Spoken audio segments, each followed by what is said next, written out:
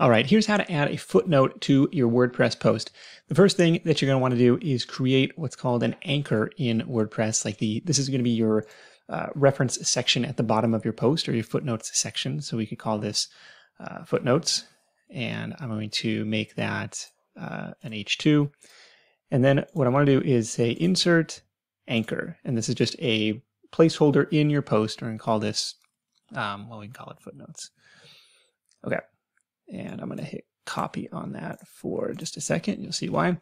Um, and let's say I want to have a footnote here. So in fact, high authority outbound links may even improve your SEO. We're going to find a source to uh, back that up, and we're going to call that the footnote. So I'm going to write the number one, I'm going to highlight it and format it as superscript.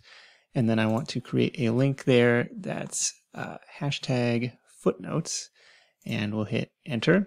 And if we hit preview now, we should be able to verify that that is working. So we click the one, it bounces us down to this footnote section, which is uh, still empty because we didn't fill anything in there, but that is how to add your footnotes in WordPress.